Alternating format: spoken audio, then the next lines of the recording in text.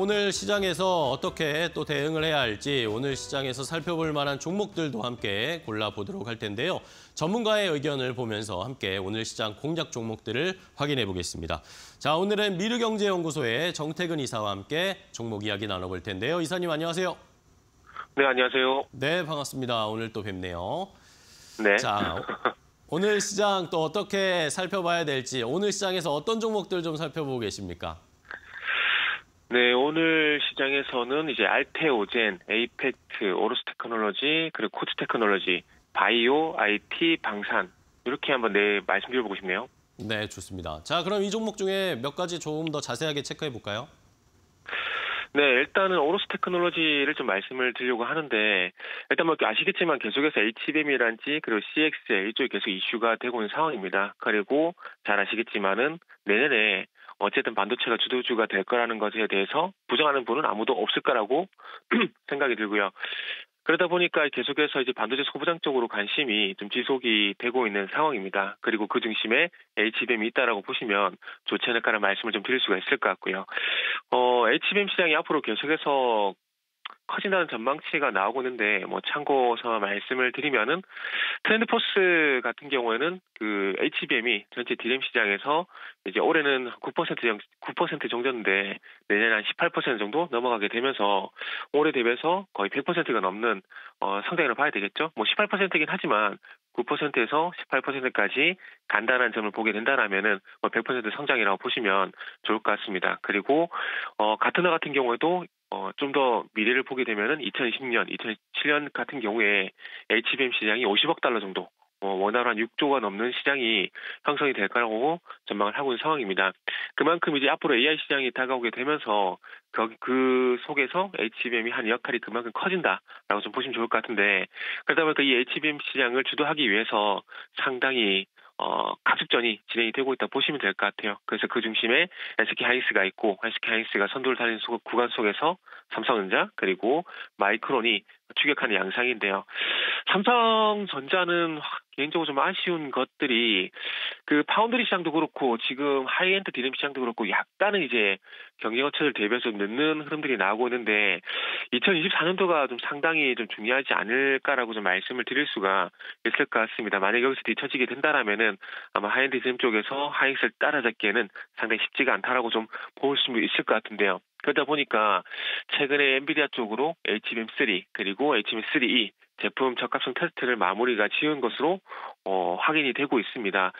어, 이 최소 최소 성능 요구치에 이제 부합을 한 수준이기 때문에 뭐 공급 계약 같은 경우는 좀 지켜봐야 되지 않을까 생각이 드는데 뭐 거의 되지 않을까라고 생각을 하고 있습니다. 왜냐하면은 어, 아시겠지만 이제 엔비디아 같은 경우에 어, 이 수주, 그, 공급처 다변화, 이런 것들을 조금 이제 진행해야 되는 상황들이기 때문에, 뭐, 삼성전자 같은 경우 수율, 발열 문제만 해결이 된다면은 충분히, 뭐, 밴드에 들어간다라고 좀 볼 수가 있지 않을까 말씀 좀 드릴 수 있을 것 같습니다. 그렇기 때문에 2024년도 공급을 한번 기대를 해볼 만하지 않을까 좀 볼 수 있을 것 같고요. 그러다 보니까, 결국 이제 첫 번째 퀄 테스트에서 이제 걸렸던 부분들이 이제 수율, 발열 문제가 있는데, 이런 부분들 좀 해결하기 위해서 이제 오로스 테크놀로지의 장비를, 어, 납 품을 받게 되면서 조금 이제 어, 힘을 좀 내고 있는 상황입니다. 오로스 테크놀로지 같은 경우에 일단은 이제 수율 문제를 해결해 줄 만한 그 장비를 제가 납품을 하고 있다고 좀 말씀드렸는데 그 웨이퍼 레벨 패키지 장, 검사 장비라는 것들을 이제 납품을 하고 있습니다. 이런 부분들을 통해서 불량을 빨리 걸러내고 덜어내고 또 수율을 맞춰줄 수 있을 만한 그런 어 이 사, 그런 어떤 상황을 좀 만들어주고 있기 때문에 일단 오로스 테크놀로지 최근에 주가 흐름도 괜찮고 그리고 어제 상승 이후에 또 주가 상승이 좀 기대가 되는 상황이기 때문에 뭐 많은 좋은 종목들이 있습니다. 많은 좋은 종목들이 있지만은 그 중에서 위치적으로 봤을 때 일단 오로스 테크놀로지가 좀 눈에 띈다라는 말씀을 좀 드릴 수가 있을 것 같습니다. 네, 자 그렇다면 오로스 테크놀로지 한번 체크해봤고 또 한 종목 어떤 종목 보십니까? 어, 또 한 종목은 이제 방산 쪽에서 코치 테크놀로지 좀 볼 건데요. 아마 바이오 같은 경우는 많은 분들이 이제 많이 말씀해 주시기 때문에 좀 틈새 시장으로 이제 방산을 좀 말씀을 드리려고 합니다. 최근에 이제 바닥권에서 이제 조금 들썩이려고 하고 있는 상황들이고 그리고 추가 상승 좀 기대가 되는 부분들이 있기 때문에 한번 말씀을 좀 드려보고 싶어요. 어, 일단 방산 쪽을 보게 되면은 이제 폴란드 쪽을 보게 되면서 동유럽 그리고 아시겠지만은 중동 이제 앞으로 미국 쪽까지 일단은 진행이 좀 될 것으로 보여지고 있는 상황들인데요. 어, 일단 코츠 테크놀로지 같은 경우는 아직 많이 언급은 되지 않고 있는 상황입니다. 그렇기 때문에 어찌 보면은 말 그대로 틈새 시장을 노려볼 만한 종목이라고 말씀드려볼 수 있을 것 같은데요.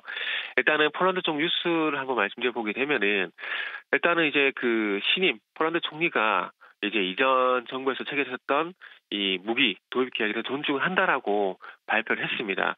어찌 보면은 이, 어, 정부, 이, 정권이 바뀌었다라기보다는 새로운 정부가 출범을 하게 되면서 이전 정부가 맺었던 어떤 계약에 대해서 조금은 리스크가 좀 발생될 수 있습니다. 왜냐하면 좀 왜냐하면은 이 뒤집어질 가능성 결국 이런 것들이 있는데 이런 것들에 대해서 조금은 어 다행이다 싶은 얘기가 현재 나오고 있는 상황들이기 때문에 프란스 쪽 같은 경우는 어쨌든 뭐 계약 규모에 대한 변화는 있을 수 있다라고 하더라도 어쨌든 폴란드였던 기존에 있던 계약 플러스 루마니아 쪽 같은 경우도 기대가 되는 부분들이 있고요. 이런 부분들이 좀 어, 확 유럽 전반적으로 확정될 가능성이 있기 때문에 일단 유럽 쪽 같은 경우 긍정적으로 봐도 되지 않을까라고 말씀을 좀 드릴 수가 있을 것 같습니다. 그래서 어, 루마니아 같은 경우는 이제 폴란드와 상당히 끈끈한 이런 관계를 가지고 있습니다. 그렇기 때문에 루마니아 쪽 같은 경우도 앞으로 K2란지 K9, K9이란지 이런 부분들을 통해서 추가적인 어떤 계약 소식이 나올 가능성이 상당히 높고요. 그리고 이제 이제 코치 테크놀로지 같은 경우 주 고객사가 LIG 넥스원인데요. 어 LIG 넥스원 같은 경우에 그 일단은 이제 무, 그 천궁2 이쪽이 좀 기대가 된다라고 좀 말씀을 드려도 어 드려도 될 것 같습니다. 그래서 일단 천궁2 수출 계약이 막 협, 아 죄송합니다. 천궁2 수출 계약이 이제 막바지 협상이 좀 진행되고 있는 것으로 어 일단 예상이 되고 있는 상황들인데 이게 만약에 되게 된다라면 코츠 테크놀로지 같은 경우도 이제 어, 실적에 좀 도움이 될 것 같습니다. 왜냐하면 이제 무기체계에 들어가는 어떤 그 컴퓨터 장비라든지 그리고 시스템이라든지 이쪽을 통해 가지고 LG 넥스원이라든지 한화 시스템이라든지 현재 이제 주요 고객사 두고 있는 상황들이기 때문에 한화 에어로스페이스도 마찬가지고요. 그래서 뭐 K2라든지 뭐 정투라든지 이런 무기 수출 계약이 나오게 된다라면은 코스 테크놀로지 같은 경우도 일단은 이제 주목을 해야 되지 않을까라는 말씀을 좀 드릴 수 있을 것 같습니다. 그래서 976 정도 수장고를 확보하고 또 있는 상황이기 때문에 앞으로 또 안정적인 실적 이런 부분도 기대가 되기 때문에 한번 주목을 해보시면 좋을 것 같습니다. 네, 알겠습니다. 자, 이렇게 방산주와 반도체 관련 종목 하나씩 오늘 시장에서 조금 더 저희도 잘 살펴보도록 하겠습니다. 오늘 좋은 종목 소개해 주셔서 감사하고요. 또 새해 뵙도록 하겠습니다. 고맙습니다. 네, 감사합니다.